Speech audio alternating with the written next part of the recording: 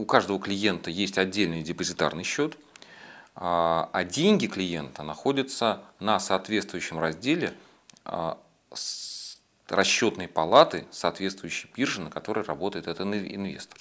Вот. Это, не, это, не, это не счет, это раздел, скажем так. Биржевой сбор учитывает э, э, работу организатора торгов биржи э, по учету сделок, клирингу, взаимным расчетам и так далее, да, условно говоря. Э, биржевые сборы, как правило, крайне незначительны на основной российской бирже, Московской межбанковской валютной бирже, э, биржевой сбор равен э, одной сотой процента. Отличие при работе на срочной секции от фондовой в том, что при работе на, на срочной секции не открываются депозитарных счетов, соответственно, а, и депозитарного сбора нет. Есть точно такой же сбор биржевой, соответствующей площадки, соответствующей биржи, да, и комиссия брокера. Комиссия брокера. Вот, при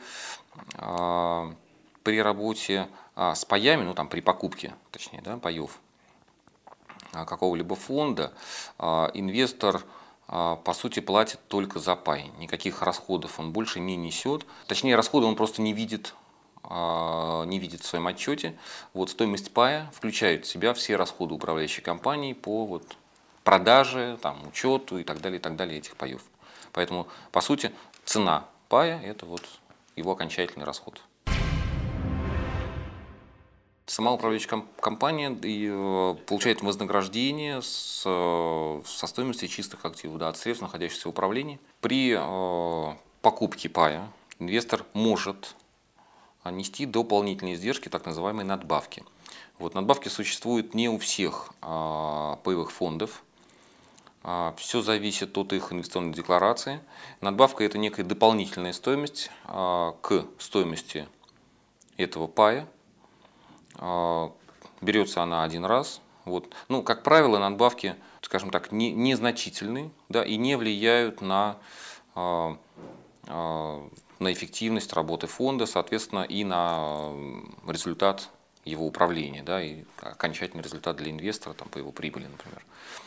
А скидки в данном случае это величина обратная, ну, в какой-то мере обратная.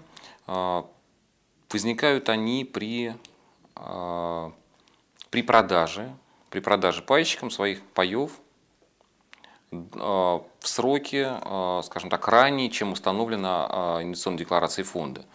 Вот, по сути, это некое удешевление стоимости продажи, вот, но также в процентном отношении оно невелико, не, также оно не всегда применяется в разных фондах, в достаточно большом количестве фондов, поэтому скажем так, и надбавки, и скидки, они существуют, да, но не стоит а, а, обращать на них такого серьезного внимания. Вот прежде всего надо смотреть на динамику а,